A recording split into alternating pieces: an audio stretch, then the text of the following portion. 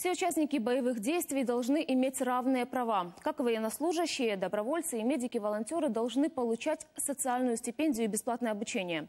Этого добиваются представители движения «Справедливость». Об этом рассказал лидер организации Валентин Наливайченко. Кроме того, он требует предоставить украинское гражданство россиянке Ольге Симоновой. Она три года работала парамедиком на фронте, а сейчас служит в ВСУ по контракту. Симонова собрала весь пакет необходимых документов. Ее также поддержала омбудсмен, но в администрации президента она получила отказ. добровольці, медики, парамедики, як в цьому випадку з Ольгою Симоновою, які служать, захищають цю країну, мають від цієї країни ясно, що в першу чергу і, і почесним способом отримувати громадянство. Має працювати комісія з питань громадянства при президентові України. Але вона має працювати не як комерційний відділ, а має працювати за законом України.